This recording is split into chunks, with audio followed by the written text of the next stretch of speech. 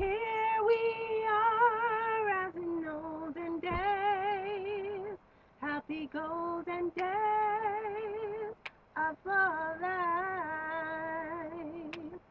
Able friends who are dear to us, gather near to us once more. Okay, let's talk wall art. The first thing we looked at was calendars as a source for prints for wall art. The next thing was postcards. Now we look at fabrics. How can I leave fabrics out? I just love working with fabrics. They are so varied these days and they're so pretty. You can you, you could use this easily to create a great piece of art on your wall. Look at this one. So stunning. Actually, you could use this as wall art and you could actually use this as a jumping off point for the rest of your decor in any room, in a bedroom or even in a living room you could use it. Maybe a more modern, traditional decor. But fabrics make a great source for wall art. Look at this wall.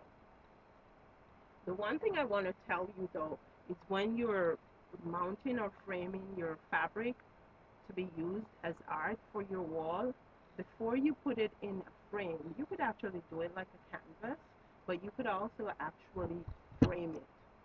Here, this is actually a piece of fabric, wall that's framed as wall art.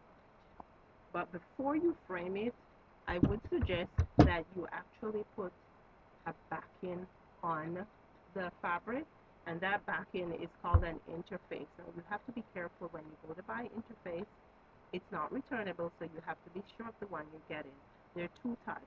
There is one that it's fusible. It actually can be put between two layers of fabric, so you can't iron this. You have to have fabric on both sides of this one. This is not the one you want to get.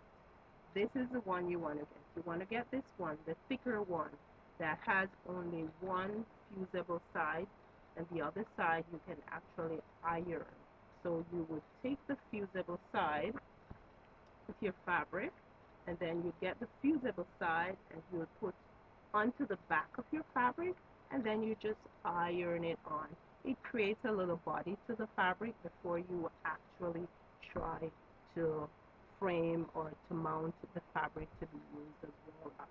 However, look at your fabrics. You can get fabric samples. You can get remnants sometimes. You can use them as wall art. So fabric, a great source for creating wall art. Have yourself a merry little Christmas. May your heart be glad. Until next time, take care.